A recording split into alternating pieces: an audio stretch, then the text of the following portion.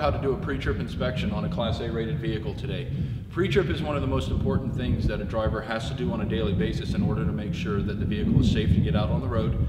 Not only are you required to actually do the pre-trip, you're required for documenting that you did it, and you are required for the results of it, meaning that if you go out on the road with a vehicle that's unsafe and you shouldn't have, you can get a ticket for it, you can be fined for it, so you gotta be careful, you gotta know what you're doing. We're gonna show you here not only how to do the pre-trip, but we're also gonna demonstrate the specifics in passing the CDL test. In order to get your Class A license, the first thing you have to do is demonstrate a proper and thorough pre-trip. The difference between demonstrating it for the test and actually doing one in real life, during the test, remember the examiner is not testing the truck, they're testing you. Do you know what you're doing? So in the in order to be expedient and make things happen quicker, they don't necessarily require you to do the whole truck. They want to see if you understand the parts. So on most trucks, there's going to be redundant parts. Um, on one side of the vehicle, you got tires. On the other side of the vehicle, you got tires, and you got brake chambers and rims, and they're all the same. So most of what you're going to be checking is down the driver's side of the truck, the truck for the test. But for an actual pre-trip, obviously, you need to check both sides in order to make sure the vehicle's safe. During your pre-trip exam on the test, the only time you're going to be on the passenger side of the vehicle is when you're checking something that's unique to that side of the vehicle. You won't find it on the driver's side. If it's something that's redundant that you'll find on both sides of the vehicle and they're exactly the same, you check it from the driver's side. So we're going to go ahead and get started. One of the things I want you to understand is that this is our pre-trip here. This is how we teach it at the class. This is this is the um, the forms that we use the for the purposes of the exam, they break the vehicle down into three sections. Remember, I said they don't want to they don't want to check the whole truck necessarily. They want to make sure that you know what you're doing. So they're going to break it down into three sections. And for the examiner, it's called a Form A, a Form B, or a Form C. You're not going to know which one they're going to give you when you get there. So you have to know the whole truck. But if you get a Form A, like this is our Form A, a Form A will be from the front of the truck. It'll be both sides of the engine compartment and the coupling. A Form B, which would be on the next page, would be from the driver's side of the truck, the rear of the truck and coupling, and a Form C would be coupling and the trailer. So you always end up doing coupling, and then the other part that everybody ends up doing is going to be an in cab. Your in cab is where you check all your gauges and you do your brake check. Now the one thing to keep in mind, during the rest of the exam for your yard skills and your road skills, you don't want to accumulate points. Accumulating points is a bad thing. Accumulating points means that you've um, you've done something wrong and you've been assigned a point for it, and that too many points fail you. For your pre-trip, an accumulation of points is what you want. The more things you name, the more things you do properly, the more points you accumulate, and then you'll end up passing. The one thing that will fail you though immediately on your pre-trip that you can't get anything wrong on is your brake check. And we're going to go through that thoroughly so you understand that when you do your brake check, your brake check has to be 100%. All right, so what we're going to do is we're going to go ahead and get started. We're going to start with a Form A, flow right through it like as if you get the whole truck, because that you could get that as well. Sometimes randomly in the computer, you could just end up getting, you could end up pulling the whole truck, and you got to know how to do the whole thing. So we're starting at the front of the truck. Now with each new section, we're going to do what's called a general overview. Every time you go to a new section, you do a general overview. Now, general overview is just that. It's an opportunity to just do a cursory look at the vehicle and, and the area you're inspecting to notice if you see anything damaged, so on my general overview of the front of my vehicle, I don't see anything damaged, I don't see anything hanging off, I don't see any of my mirror brackets cracked or broken. You're gonna get into some of the more specific stuff, so you're gonna look at the top and all my lights, my marker lights, they're not cracked, damaged, or loose, they're clean and of the proper color. All my uh, lenses on the front end for my uh, headlights, they're not cracked, they're not uh, damaged in any way, they're not fogged out, uh, they're clean and of the proper color. Um, I would take a look oh, at, like I said, uh, during my general overview, I'd look at the front of the vehicle and see if it's leaning to one side or another. If it was leaning to one side or another, that might indicate some kind of suspension damage, that it's uh, something is wrong with the suspension and it's and it's allowing the vehicle to tilt to one side or the other. Or and the other thing I would do is I would look underneath the vehicle and I would want to make sure that I don't notice any puddles dripping out from underneath the engine some kind of oil leak or a radiator leak. It would indicate some kind of fluid, uh, a line or a hose or a radiator that's been damaged and is leaking fluid out on the floor.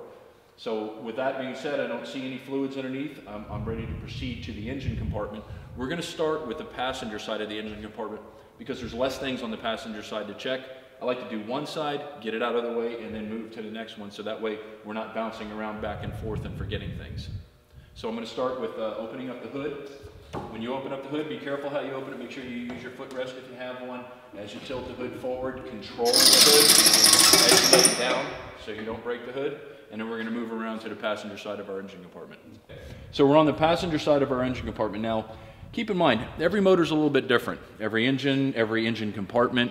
This is a Freightliner Columbia 120. It's got a Mercedes motor in it. You might be driving a Peterbilt with a Cummins motor in it. You could be driving a Kenworth uh, with a Cummins motor in it. You, you, everything's going to be a little bit different. So what I want you to be able to do is learn how to identify the parts that you need to check. So it doesn't matter what vehicle you're on, you know how to find it. There's certain ways to track certain things down. So if I look at this engine compartment, remember what I said, on every new section, we're gonna start with a general overview. So a general overview of the passenger side of my engine compartment. I don't see anything cracked, damaged, or loose. I don't see any, any hoses that are hanging loose. None of my hoses have any abrasions, bumps, or cuts in them. They're not leaking any fluids. So I don't see anything damaged. So we're gonna start with some of the more specific things. Now on this side of the engine compartment, there's really only two things I need to check on this motor. On this side, what we've got here is the first thing I'm gonna check is my water pump. My water pump is right here. Now, how do I know it's a water pump? Well, you've got to look for the things that would give you that clue. I know what a water pump does. A water pump pumps water through the engine and that water comes from the radiator. So the radiator being right here, what I do is I look for the hoses that come out of the radiator. So I've got a hose right here that comes out of the radiator and goes into the top of the water pump right there. And then I got a hose over here, which comes out of the bottom of the radiator. And you can see it right there. It clamps to the water pump right there. So I know that's my water pump. So what I would do is identify that this is my water pump. It's not cracked, it's not damaged or loose, it's not leaking any fluids, um, and it's properly bolted to the motor. You do have to identify that it is a belt-driven water pump. There's the belt right there. You would have to identify that the belt is not damaged, it's not frayed, it's not uh, cut, has no abrasions, bumps, or cuts, and it has no more than three quarters of an inch of play on it when, the, uh, when you push on it to make sure that it's properly tight, which this one is. Now if you take a look here, the only other thing that we would check from this side would be my radiator. My radiator is not cracked, damaged, or loose. It has no, um, it's, it's properly bolted and secured in the frame. It has no leaks. I can see that it's not leaking. The core's not leaking out onto the ground, and the radiator is in good condition. So everything else on this side of the engine compartment, my frame, my, my brake chambers, my tires, um, they're exactly the same thing on the other side of the engine compartment. We'll check it over there. So here we are on the driver's side of our engine compartment. Um, again, like with every new section, we're going to start with a general overview.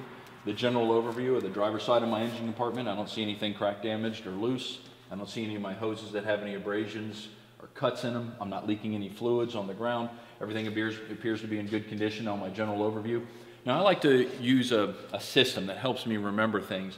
So I work in an order that keeps things in mind and I, I allow what I see on the truck to remind me of what I need to have, what I need to check. So I, I, like to try and keep it simple, work my way from the back of the motor to the front and from the inside of the motor out. So if I start at the back firewall here and start looking at things I need to check, I know I need to check this. This is my overflow reservoir for my radiator system. It's not cracked or, or broken. It's not leaking any fluids in any way. And you do want to mention that all the hoses that lead to and from it um, have no abrasions, bumps, or cuts, and that um, it's not they're not leaking any fluid. Also, you want to mention that the cap is properly secured. This is my uh, windshield washer uh, fluid reservoir. It's not cracked or damaged in any way. It's not leaking any fluids. The cap's properly secured. So I'm going to work my way again from the back. When I start with the motor here, I'm going to look at some key components here. The first part I'm going to identify here, this is my, um, my air compressor pump for my air brake system. It's not cracked, damaged, broken, or loose. It's properly bolted to the motor.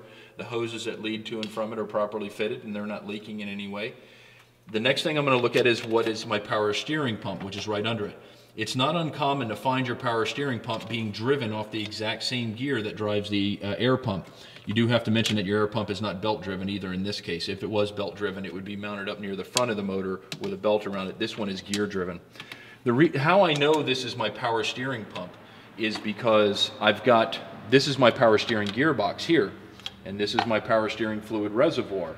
Well, I look at the hoses that lead out of it and I follow the hoses all the way back and I see that with hydraulic lines and hydraulic fittings, they go into the power steering pump right there. So I know that's my power steering pump.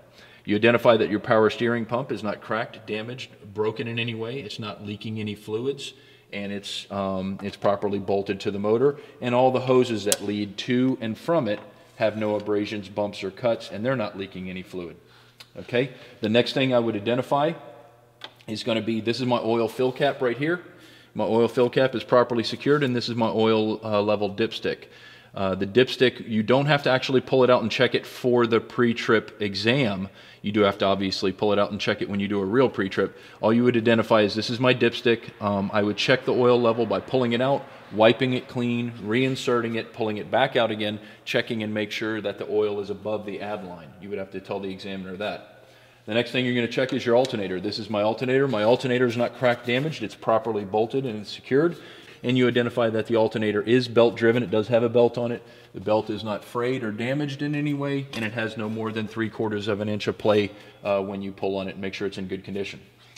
So as I start working my way out, the first thing I'm going to hit is my frame, okay? This is my frame rail. You can see it running there. My frame is not cracked, damaged, or broken.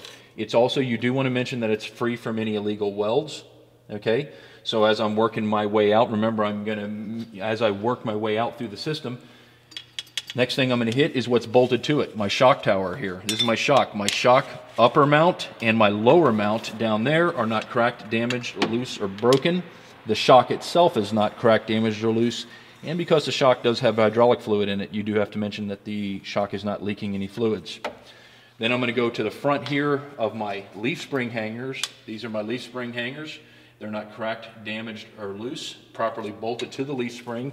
Both my front and rear hanger, you can see the rear hanger all the way back there. It's not cracked, damaged, or loose. They're in good condition. My leaf spring itself is not cracked, damaged, or loose. It's not bent or broken. And then what you're going to do is you're going to look at, well, what's it bolted to? The leaf spring secures and, and, allows for the suspension components to travel with the front axle, the front steer axle. This is the front steer axle.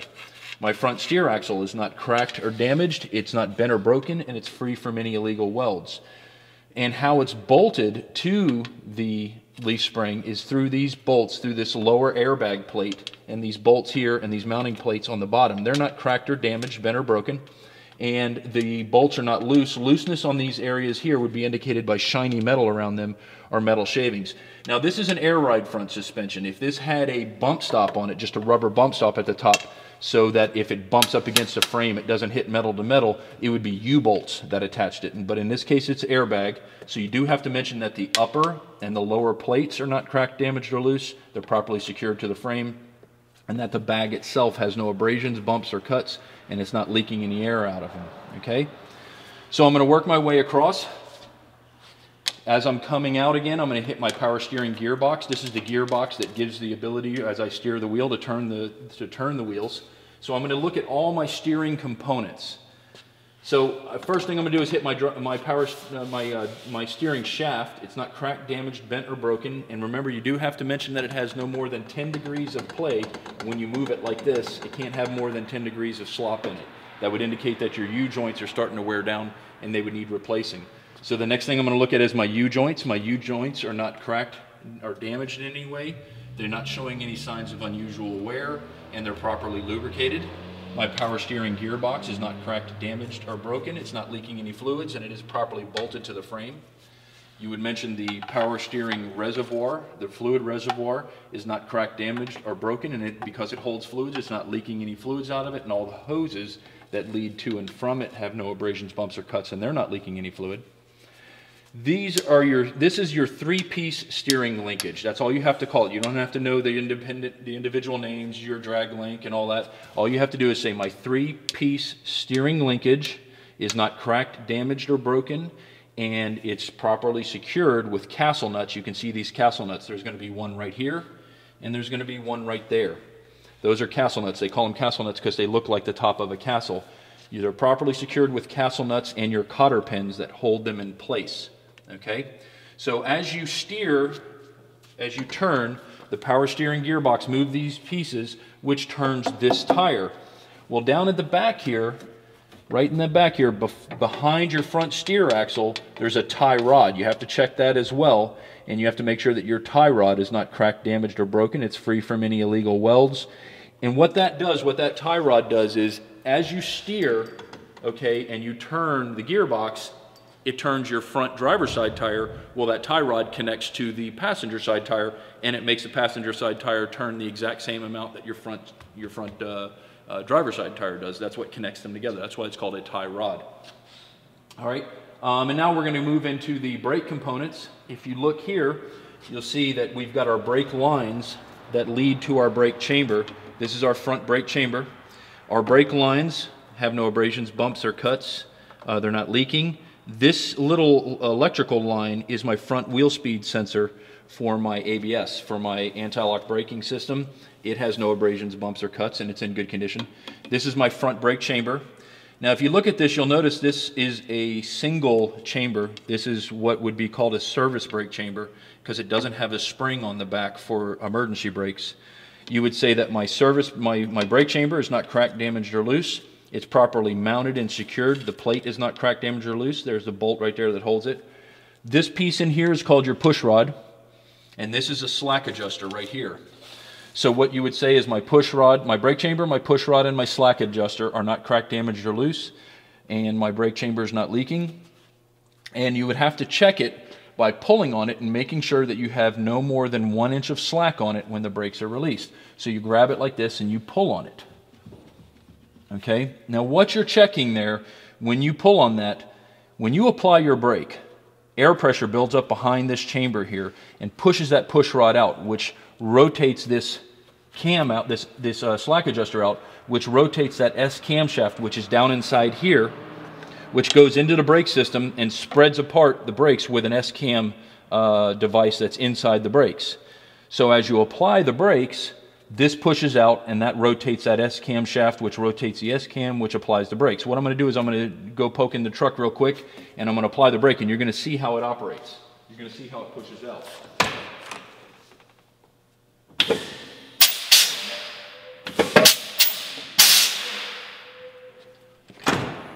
So what's happening when you're checking it to make sure that it has no more than one inch of slack, what you're doing, what this device does, is as your brake pads begin to wear, when they start off, they're about that thick. And as they begin to wear, they get thinner and thinner. Well, if this didn't accommodate for that wear, the gap between the pad and the drum would get too big.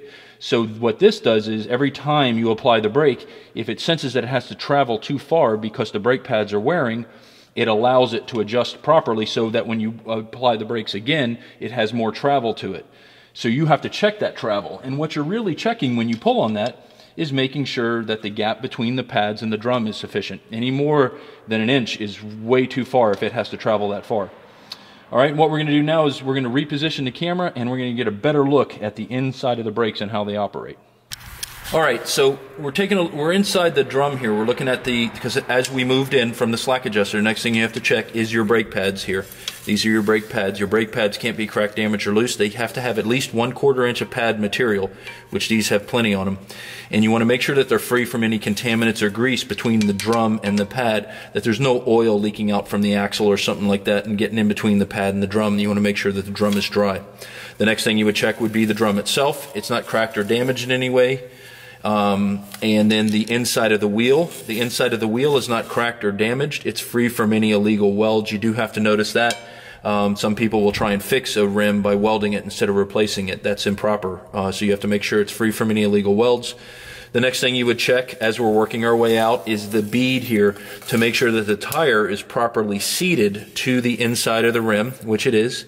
Then you would check the inside sidewall of the tire to make sure that it has no abrasions, bumps, or cuts. It's free from any defects. And then you would move your way out and we'll check uh, the front of the tire the same way. So let's go ahead and do that. So now we're on the outside of the, of the tire. Again, you're gonna do the same thing like you just checked the inside of the, the tire wall you're going to check the outside of the tire wall, make sure that it has no abrasions, bumps, or cuts. It's free from any defects, that it is properly seated to the rim itself, okay? You would also want to check the top of the tire. If you come over here, you can take a look. Now what's important to remember about this is you want to make sure that it has no abrasions, bumps, or cuts. It's free from any defects or issues or problems. But you also need to remember that because this is a front steer tire, it has to have at least 4 30 seconds of an inch tread depth on it Um, the tread depth has to be at least 4 32 of an inch deep. You would check that with a tire gauge. It's simply a little gauge that you put on top of the tire and press the plunger down in there and it'll tell you how deep the tread depth is.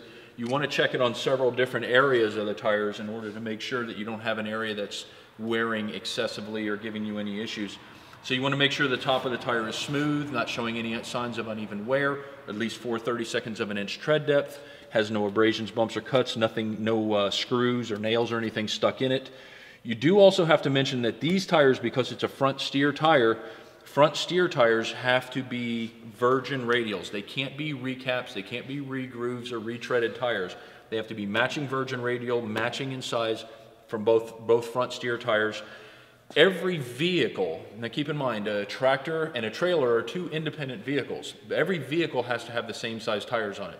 So they have to be the same on each vehicle. The trailer can have different size tires than the tractor does and vice versa, but on each vehicle they have to be the same. But like I said, these have to be virgin radials.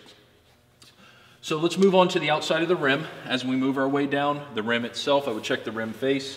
It's not showing any signs of damage. It's not cracked or damaged. Um, it's free from any illegal welds. Remember I said you have to make sure it's free from any illegal welds. You would check each lug nut. The lug nuts themselves are not cracked or damaged. Uh, they're not loose. Looseness, you could check by looseness would be indicated many times by rust streaks going down the face of the rim where water rusted out the stud behind and because it's loose that rusty water is allowed to run down the face of the rim and it would leave rust streaks down the face of the rim also sometimes you'll notice around the lug nut itself you'll see shiny metal where it's because it's loose it's vibrating and it's wearing the aluminum into a shiny spot you would check your wheel seal. My wheel seal is not cracked, damaged, or loose. It's not leaking any, any fluids out of the front wheel axle. And then the last thing I would check would be my valve stem right here. My valve stem is, is not cracked damaged. It's not leaking any air out of it. And this is where you would check, obviously, your tire pressure. You do have to mention that I would check my tire pressure. I would, it has to be at least 100 PSI, and you would check that with a gauge. So we're, what we're going to do now is we're going to continue moving down the driver's side of the vehicle. So here we are on the driver's side of the truck. Again, general overview. The general overview of the side of my truck. I don't see anything cracked or damaged or loose. Uh, my marker lights are clean, they're of the proper color. So we're going to start with some of the more specific stuff. I'm going to check my, my mirror brackets here. They're not cracked or damaged. My mirrors are not cracked or damaged, they're clean. I'm going to check my door, my window's not cracked or damaged. The door itself opens properly. I'm going to check the hinges on the inside of the door. I'm also going to check my weather stripping. It doesn't appear to have any abrasions, bumps, or cuts. It's in good condition. The door closes properly. I'm going to work my way down the side, check my fuel tank. My fuel tank straps that secure the fuel tank are not cracked or damaged. The fuel tank itself is not cracked or damaged. It's not leaking any, any diesel fuel out of it. You're going to need to check the cap by removing it because you've got to look inside here. There's a safety seal on the inside here. You want to make sure that it's not cracked or damaged. It's not showing any abrasions, bumps, or cuts, and that the safety chain itself is present so you don't lose your cap. Back. Check my steps. They're not cracked or damaged. They're properly bolted in place. They're in good condition. Work my way down the side of the vehicle. I'm going to come around to the, to the back here of the vehicle. And I'm going to check my, the back of my truck. The back of my truck has no intrusions into the cab. Nothing is cracked or damaged. I don't see anything loose, any of the brackets.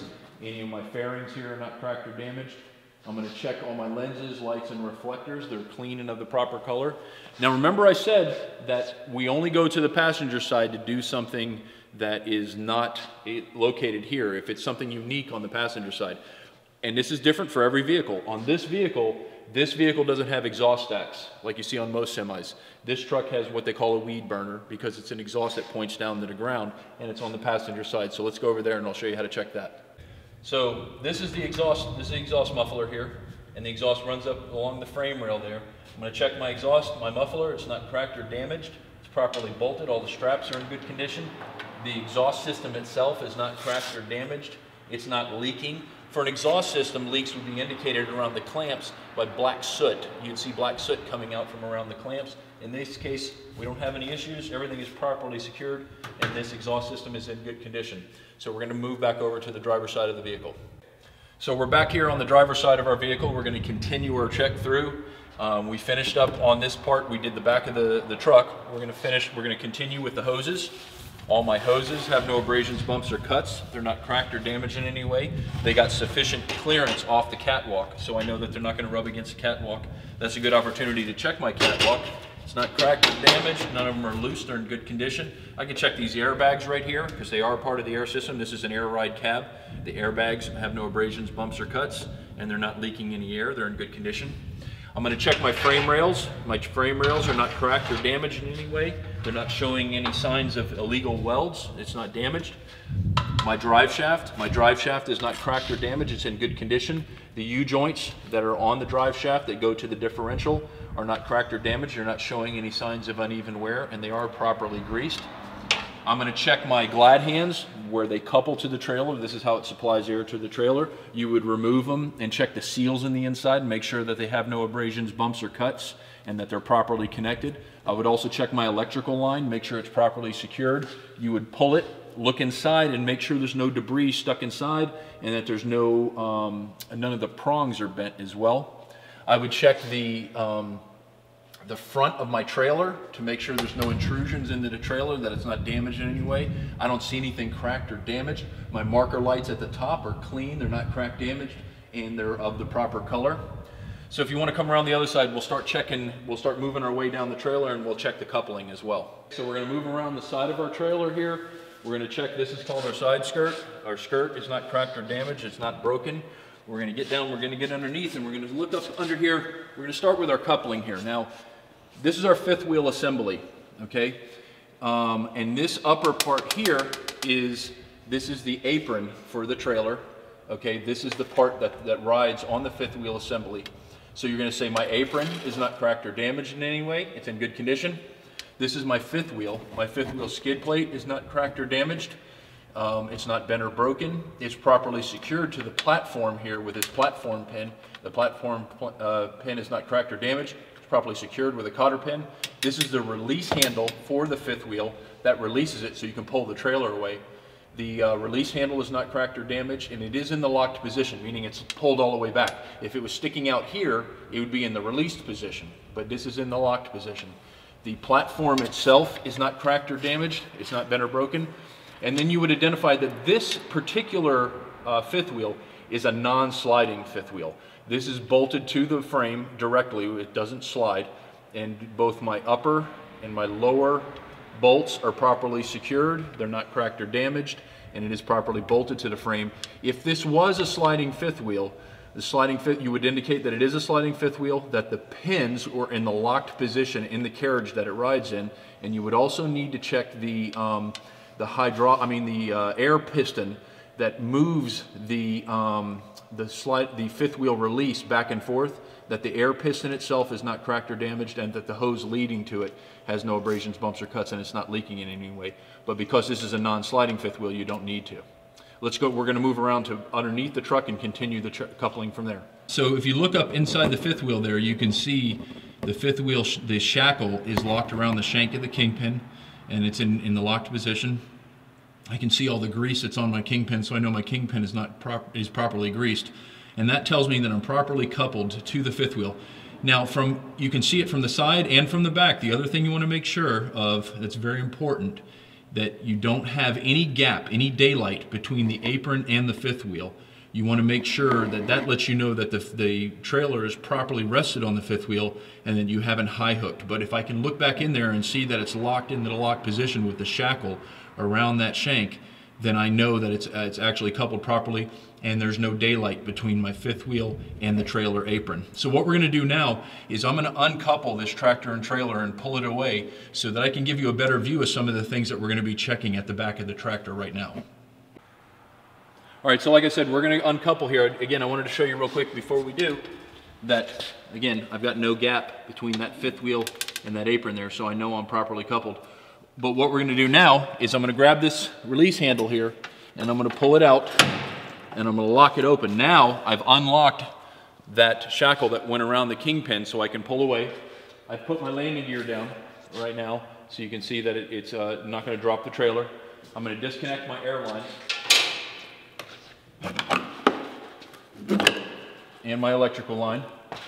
I'm gonna go ahead and stow them real quick and then I'll pull the truck forward and we'll go to the back of the truck and show you the, the things at the back of the truck you need to know. Okay, so we're at the back of the truck. I've, like I said, I've uncoupled from the trailer so we can get a better view of some of the parts we're going to be looking at here. Let's again, let's take a look at, uh, let's take a look at this over here. You would check this normally from underneath the tractor, but like I said, so you can see it better on the film, here's what we did. Here's what we're going to be checking. This is your torque arm for your rear differential. You need to check that and make sure it's not crack damaged or loose and it's properly secured with all the bolts in place. You're going to check your rear axle, your rear drive axle. This is uh, your differential. It's not crack damaged or loose. It's not leaking any fluids out of it. It's in good condition.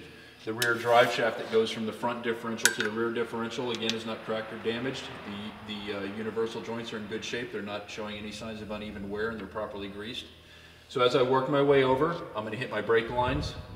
The brake lines that go to my rear brake chamber here have no abrasions, bumps, or cuts. They're not leaking in any way. There's my wheel speed sensor line to the rear axle. It's not showing any abrasions, bumps, or cuts. My rear brake chamber is not cracked, damaged, or loose. The push rod, the slack adjuster is not cracked, damaged, or loose. The mounting bracket for the brake chamber is not cracked, damaged, or loose, and the brake chamber is properly secured to the bracket as I work my way back to here. This is an air ride suspension, so this isn't this doesn't have leaf springs. This is an air ride suspension. My airbag, both the upper and the lower plates that mount the airbag are not cracked, damaged, or loose. The air lines that lead to the airbag have no abrasions, bumps, or cuts. They're not leaking, and the airbag has no abrasions, bumps, or cuts, and it's not leaking. If you come on around over here, we'll take a look. We'll work our way to the inside of the uh, to the wheels. So we start as we work our way out from the frame. The frame itself is not cracked or damaged. It's not broken. It's free from any illegal welds.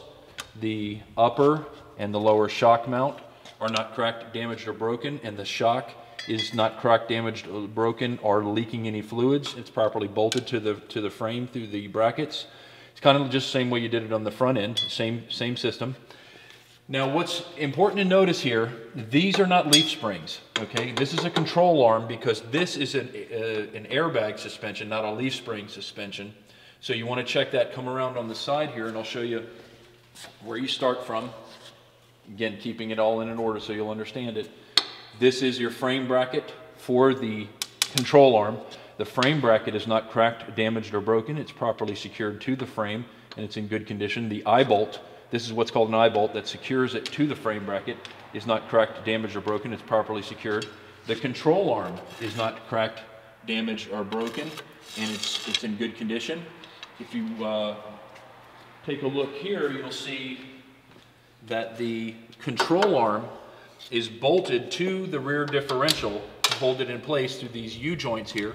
I mean these uh, U-bolts. These U-bolts are not cracked, damaged, or broken or loose. Looseness would be indicated by shiny metal or metal shavings. Okay, so again, we're gonna do, this is just like we did on the front tires, okay? We've worked our way to the inside of the, of the wheel.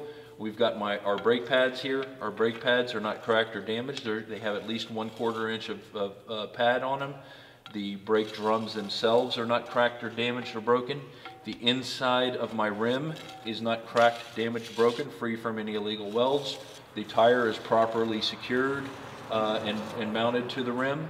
The inside of my tire sidewall is not, uh, has no abrasions, bumps, or cuts. It's not showing any kind of damage. I work my way across the top of the tire. The tire has no uneven wear and has no abrasions, bumps, or cuts. Now because this is a rear tire, um, a, either a, a trailer tire or a drive tire, it only needs two 30 seconds of an inch tread depth, not four like on the front. Uh, this has uh, more than two 30 seconds of an inch tread depth. I work my way to the outside of my inner tire, the sidewall, has no abrasions, bumps, or cuts. It's properly mounted to the rim on the inside here. The rim itself, the inside of the duals, is not cracked or damaged. It's free from any illegal welds. I work my way to this tire bead, for my outside tire is not cracked. Uh, the bead itself is not cracked, damaged, or, or broken, and the tire is properly mounted to the bead. Um, the sidewall, the inner sidewall of my outer tire, has no abrasions, bumps, or cuts. It's free from any damage. I work my way across the top of the tire again, just like I did. It has a more than uh, two 30 seconds of an inch tread depth, no abrasions, bumps, or cuts, nothing stuck in the tire. Work my way to the sidewall here, no abrasions, bumps, or cuts, in good condition, properly mounted to the rim. The rim itself is not cracked or damaged. It's free from any illegal welds. These are my lug nuts. My lug nuts are properly secured. Remember, looseness would be indicated by shiny metal metal shavings. My wheel seal is not leaking any oil into the inside of the rim. Here's my valve stem. Now remember, on a drive tire like this where you've got duals, you've got, um, you've got to check both valve stems. It can't be cracked, damaged, or loose, and they don't want to be leaking. And because, again, these are duals, you've got dual tires, there's one other thing you have to check for here. You do have to make sure that you have proper clearance between the duals and that there's no debris caught between the tires, something that you may have run over out on the road that got trapped between the tires and it's going to rub and cause friction. Now, something about these tires, because they are, um, because they are rear tires, either drive tires or trailer tires, can be recaps or retreads. These are recaps. There's a couple ways you can tell. You'll see a seam around the outside here. And also, if you look here, you'll see a seam right here. If you look right there, you can see that seam that runs across the tire there. That's where the belting was glued in place. It was stretched back across the tire after they shaved it down, and they re-glued tread back on that. Um, so, uh, but because this is a rear drive tire, that's, that's perfectly okay to do that. Um, now that we're uh, at the back here, we would check our mud flap hanger is not cracked, damaged, or broken or loose. My mud flap's in good condition. It's got sufficient clearance off the ground. And you would also check the back area here. My lenses and my lights uh, are clean and they're of the proper color. We're gonna go ahead and we're gonna back back up underneath the trailer again so I can show you the other things you'd be checking for as you move your way down the trailer. So we've coupled back up to this trailer um, so that we can take a look at the other things we'd be looking at. One of the other things that you'd be checking is to make sure that you have proper clearance between the back of your tractor's frame and your landing gear so that when you turn, uh, you're not going to crash uh, the tractor frame into the landing gear. That would lead us to our landing gear. You would check the landing gear Make sure that it's not cracked or damaged. All the lateral bracing is secured, bolted in place, it's not cracked or damaged. Check your landing gear handle. Make sure that your landing gear uh, travels up and down, which in this case it does. No problems there. Restow your, your handle. Now I'm going to move along it, um, bottom end of my trailer here. All my cross bracing is not cracked or damaged. It's not loose. It's in good condition. I'm going to work my way down here to my air lines. My air lines are not cracked, damaged, or loose. Nothing is hanging from them. All the fittings are not cracked, damaged, or loose. The lines themselves have no abrasions, bumps, or cuts. And we want to make sure that they have sufficient clearance um, from the ground to make sure that they're in good condition. And what we're going to do now is we're going to take a look at the back trailer tandem and show you what you need to check there. So we're back underneath this uh, tandem now. Here's the things we're going to be looking for. The rear axle is not uh, cracked or damaged. It's not leaking any fluids out of it. These are our brake chambers here. You can see the brake chambers. These are spring brake chambers. Number one, because it's on a trailer uh, made past 1975, it has to be spring brakes. But also you can tell because it's got the dual lines leading to it. One is for the service brake side, one is for the emergency brake side. The hoses leading to uh, the brake chambers have no abrasions, bumps, or cuts. They're not leaking properly secured to the brake chamber. This is my ABS line. It's not cracked or damaged, leading to the wheel speed sensor. The brake chambers themselves are not cracked, damaged, or loose. The push rod and the slack adjuster is not cracked, damaged, or loose. You would check the slack adjuster by pulling on it. Now you do have to mention, you would have to say with the brakes released. See, if I pull on it right now, it's rock solid. Well, it's because the brakes are set the brake pads are pushing up against the inside of the drum and they're not going to move anywhere. You have to check it with the brakes released to make sure that the adjustment is in, in, in good order. As I work my way to the outside, you're going to look, you can see your shock towers here. There's the same on either side. The shock tower is not cracked, damaged, or loose. The upper and lower shock plates or mounts are not cracked, damaged, or loose. The shocks are not leaking any fluid out of them. I would check my control arms. Here's These are the control arms that hold the airbags, and that's what it rides up and down on, the control arms are not cracked, damaged, or loose. The upper and lower mounting plates for my airbags are not cracked, damaged, or loose. The airbags are free from any abrasions, bumps, or cuts. and it's uh, not leaking in any way. Work my way to the inside of my brakes again. This is the same as you've checked every brake. If you look at the inside of the brake, you can see that the uh, brake pads are not cracked, damaged, or loose. They have at least one quarter inch of pad material. The brake drum is not cracked, damaged, or loose. It's free from any contaminants, oil, or grease. The inside of my wheel is not cracked, damaged, or loose. It's free from any illegal welds. The inside of my tire wall has no abrasions, bumps, or cuts. It is properly seated to the rim. And we'll move our way to the outside and I'll show you the rest of it. All right, so we left off on the inside tire sidewall, exactly the same as you've checked the uh, rear drive tires of the, tra of the tractor. Check the tops of the tires. Not showing any abrasions, bumps, or cuts. No objects impaled into them.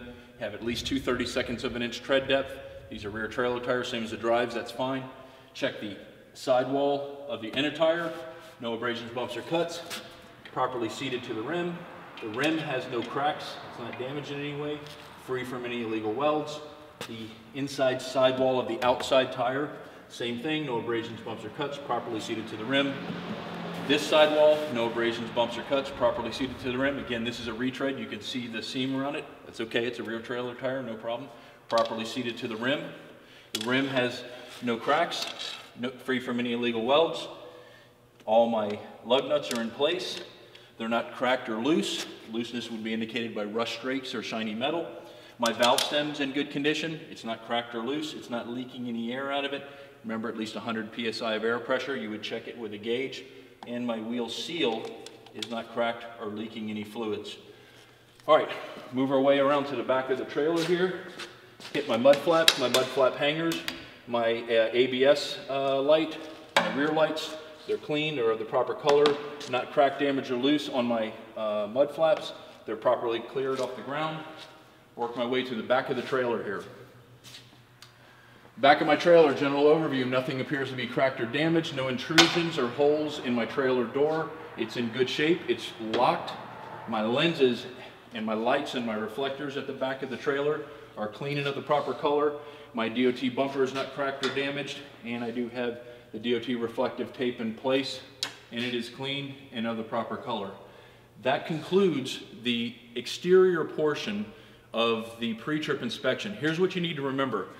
Like I said, right now you would be able to tell the examiner, look, I've already checked this side of the truck. I would check the other side of the truck the same way I just checked this side.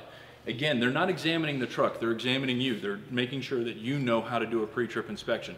Obviously on a real pre-trip inspection, you need to check the whole truck. You need to walk around all, you need to check all tires and all brakes. But for the purposes of passing the test, you only need to demonstrate it on one set of axles because every other axle is exactly the same. And you'll see that recurring way of doing it over and over and over again. It's the same way of checking it, you just need to know exactly what you're checking for at specific points.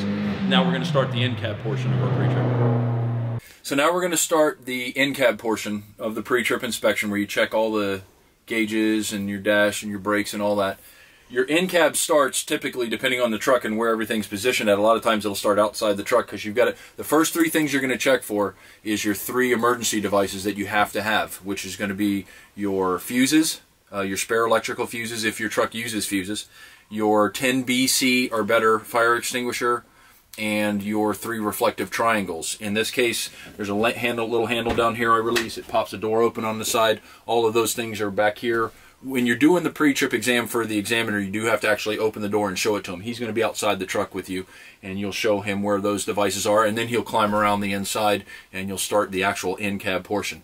So remember, uh, your spare electrical fuses, your three reflective triangles, and your 10 BC or better fire extinguisher. And they have, and the fire extinguisher has to be properly mounted in place, secured, and has to be current and properly charged. All right, so we're going to step up onto the inside here, and we're going to start our in-cab now, I like, just like all of my pre-trip inspection, I like to work it in a system. Okay, so that it, I, I, like to let things flow across so that way I don't forget anything and I keep things where I, I, I can memorize everything. So the first thing we're going to do, and it's critical to remember this, is put your seatbelt on. If you don't put your seatbelt on during the pre-trip, uh, they will fail you. So I'm going to put my seatbelt on, and you also want to mention to the examiner to put their seatbelt on as well, because they won't put it on if you don't tell them. I'm going to check my seatbelt, make sure it doesn't have any abrasions or frays or cuts on it. The seatbelt properly latches. I'm going to look around on my floorboard and make sure that my floorboard is free from any kind of debris that might roll around on the floorboard and get caught underneath my pedals so they can't operate the pedals properly. In this case, I'm fine. I'm going to check my shifter. It's not cracked or damaged. It's not broken in any way. My splitter's working properly. Okay? And I'm going to start working my way around. I like to work from left to right. My, wind, my windows are, are, are not cracked or damaged. They're clean and of the proper color. My mirrors are not cracked or damaged. They're clean. They're properly adjusted. My windshield is not cracked or damaged. Has no uh, no obstructions, no illegal stickers on it that would impede my view or prevent me from being able to see properly. I'll work my way across to the passenger side windows. They're the same. They're clean. They're not cracked or damaged. My mirrors are clean. They're not cracked or damaged, and they're properly adjusted.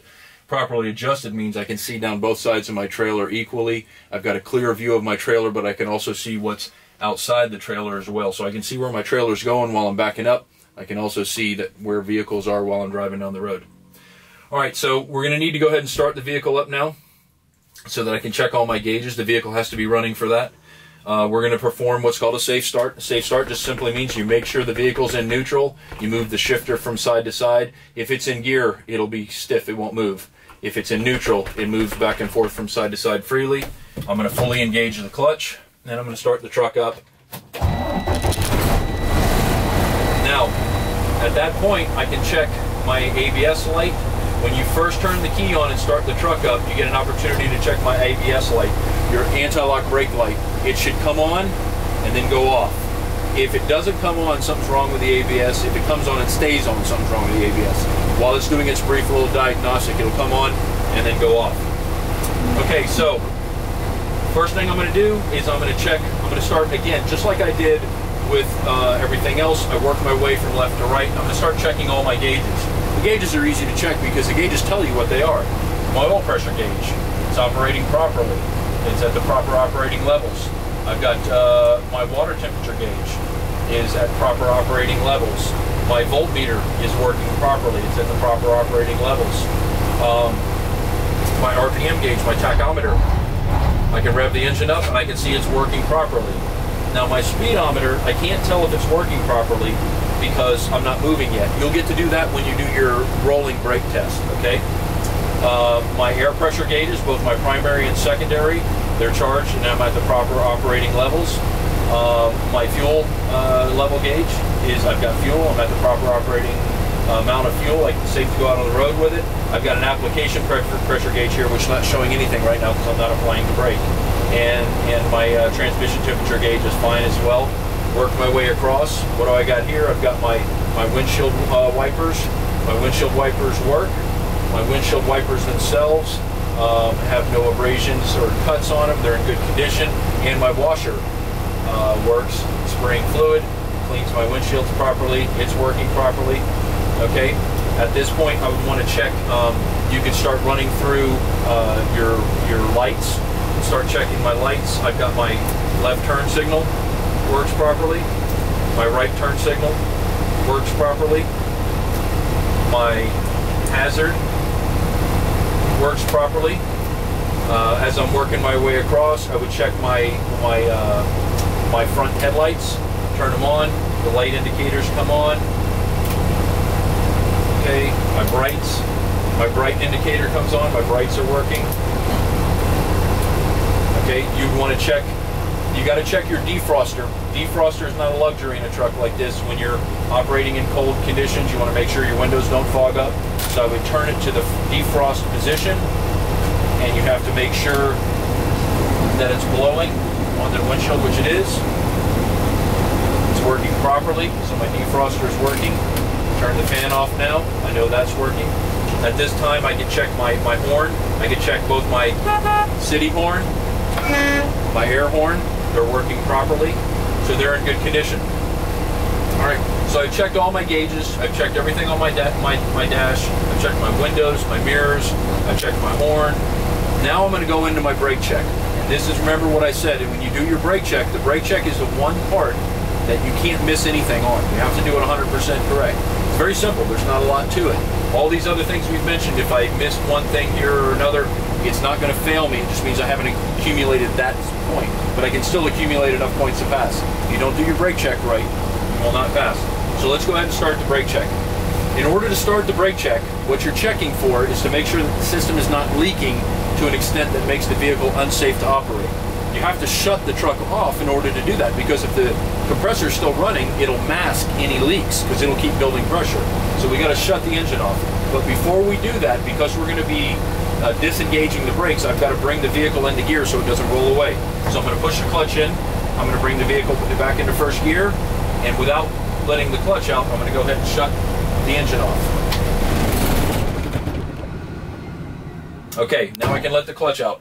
But now I need to turn the key back on because if I don't turn the key back on, my gauges won't work. So I'm going to turn the key back on.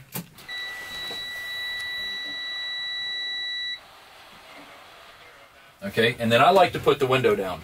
I like to put the window down so I can listen for any air leaks outside. So I'm going to put my window down. Now I'm going to start my brake check. But here's the, one of the most important things that needs to be done that people forget to do all the time. They forget to push their brakes in. They forget to push these parking brake control knobs in. If you don't charge the brake system, you can't tell if it's working or not. You can't tell if the system is leaking or not. So I have to push these brake knobs in in order to make sure that I have to charge the entire system to listen for leaks. So I'm going to start by first pushing the knobs in. Okay, that's why I had to put it in gear so the vehicle doesn't roll away. Okay, push the knobs in, and I'm going to wait while the system fills with air. That's not a leak. That's different areas and chambers being filled up with air pressure. You're going to give it about 10 seconds, 15 seconds for the system to stabilize, and you're going to wait. And I'm going to also listen outside and make sure that it's not leaking, which it's not. Okay, now I'm going to start my static brake check. My static brake check means I'm going to look at my gauges. Now remember, because this is a combination vehicle, it's not a straight vehicle, my combination vehicle maximum air pressure loss on a static brake check with no brake applied is going to be 3 psi, no more than 3 psi over a 60 second period. So I'm going to start my static brake check. I'm going to watch my gauges. I'm going to tell the examiner. I'm going to make sure that I don't have any more than 3 psi air, air loss in both my primary and secondary air gauges over a 60 second period. Okay? So I'm watching the gauges. They're not losing any air. And then what will typically happen is the the examiner's not going to make you wait a full 60 seconds. All right, they're going to say they've usually got a stopwatch and they'll say, okay, go ahead and move on. And then you'll move on. And then the next thing you're going to do is your applied pressure test. You've got to apply the brake. So you're going to put your foot on the brake pedal, and you're going to apply it and hold it. Okay? Now I've done my applied pressure test. I'm going to watch the gauges. I can't have, because I'm applying pressure now, it allows me one more psi of air pressure loss over a 60 second period. So now I'm going to say I can't have more than 4 psi of air pressure loss over a 60 second period on my applied pressure test. Okay, I'm going to go ahead and release it after the examiner tells me it's okay and I've gone 60 seconds. Now I'm going to do my leak down. My leak down is to simulate an air leak in the system so that I'm checking my early, my low pressure warning signal. That goes on at 60 psi, okay? So I'm going to start fanning the brakes down. Remember, every time you apply the brakes and release them, you use and lose a little bit of air pressure. So every time I press and release, press and release, my air pressure gauge drops. My early warning buzzer and the light came on on the dashboard at 60 psi. So I know that my low pressure warning signal is working properly. Now the next thing I'm going to do is I'm going to check my emergency valves, my emergency brake uh, valves, to make sure that they pop out automatically like they're supposed to in a uh, commercial vehicle like this with air brakes, as you start losing air pressure, if you get too low on air pressure, these valves won't stay open. They'll pop out automatically, which would apply your emergency brakes on you. So I'm going to continue fanning it down, and my emergency brakes are going to come on somewhere between 20 and 45 psi. So I'm going to start fanning the brakes down and watch the valves. You have to make sure they both pop out. All right, there you go. They just both popped out. That let me know that my emergency brakes come on for both my tractor and my trailer. Okay, and they came on somewhere between 20 and 45 psi. My emergency brakes work. Simple way to remember that step is remember the acronym SALE, S-A-L-E, okay? the first thing I'm going to do is S. For S is static, my static brake check. A, my applied brake check by applying the brake. L, my low pressure warning signal. And E, my emergency brake. SALE, S-A-L-E. That's a very simple way to remember it.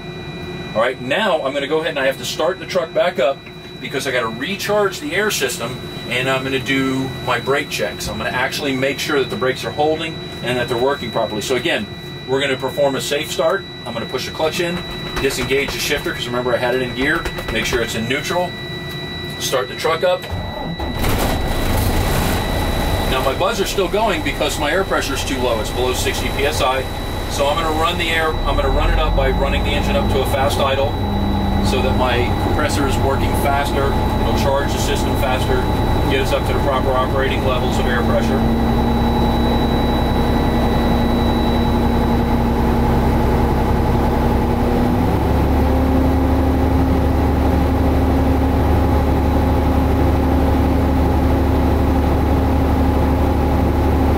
And what we're going to do next is we're going to do our tug tests on our emergency brakes, and we're going to do our rolling test for our service brakes. Remember, two different two different operating systems. Your service brakes are applied with your foot pedal, your treadle valve, your service valve. The emergency brakes are applied through either setting the parking brake by pulling the knobs out, or because you've lost too much air pressure out automatically on their own. Okay, so now you'll notice that my buzzer went off because I'm up to uh, sufficient air pressure. I'm way above 60 psi now, and I'm going to go ahead and I'm going to start uh, my my uh, tug test on my brakes. So I'm going to be checking. First thing I'm checking is my emergency or my parking brakes. Now you're going to have to check these individually. You don't check them at the same time. Right now they're both set. My tractor and my trailer are set. If I put the vehicle in gear and tugged against it, I don't know which one's holding it. The trailer could be holding it or the tractor could be holding it. I've got to check them individually to make sure that they're both working properly. So you can operate this individually. So it doesn't matter which order you do it in. I like to check um, my trailer first. So what I'm going to do is I'm going to push the clutch in. I'm going to bring the vehicle into first gear, leave the clutch pressed in, and the first thing I'm going to do is release the, sp the, the spring brakes on my tractor. So by pushing in the yellow knob, now I've released the brakes on the tractor. My trailer brakes are still holding though. Now I'm going to lightly let the clutch out and you're going to feel the vehicle tug against the clutch, but it didn't go anywhere. I'll do it again. It didn't go anywhere because the trailer's spring brakes are holding. Okay, so I know they're working properly. They're, they're, they're set. They're holding the wheels from turning. Now I got to check the tractor, so I've got to release the trailer brakes. So I'm going to set the tractor brakes. I'm going to release the trailer brakes.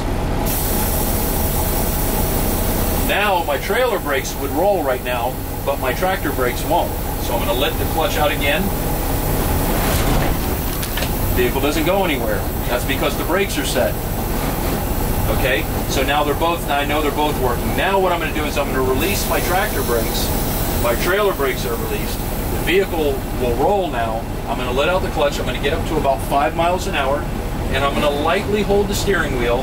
And then I'm going to apply the service brake. So I'm going to be checking my foot pedal brake, my service brake.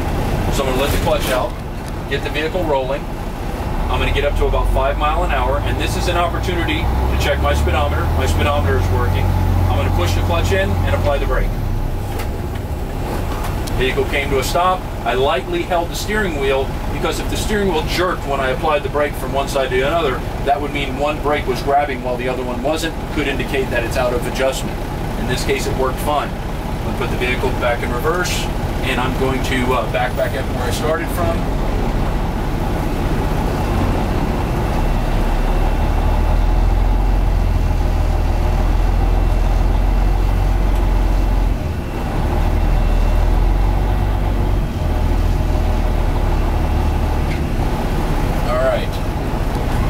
that concludes the in-cab portion and your brake check for the CDL test. That's all you're required to do. Keep those in order and remember your S-A-L-E, and then remember to do your trailer tug, your tractor tug, and your five mile an hour roll test. Um, for purposes so you'll understand one thing, this isn't required to do in the test, but I want you to understand how it works. Um, this is our trailer brake. This is, they call it your trolley valve, your Johnny bar. Sometimes it'll be a handle that's on the steering column, sometimes it's on the dashboard. This applies just the trailer's service brakes, not the trailer's uh, parking brake, the trailer's service brake. Okay, so if I want to check that, it's a tug test, same as I did on the on the uh, emergency brake.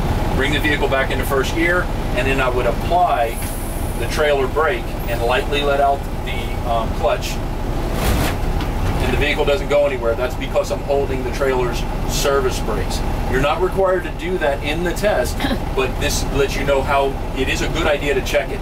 Because you might not, this might be a, a trailer that you've never driven before, you've never pulled it, you don't know anything about it, you don't know if the service brakes work properly. That gives you an opportunity to check the trailer that you just picked up. Now I'm going to put the vehicle back in neutral and I'm going to set the parking brakes again by pulling them out.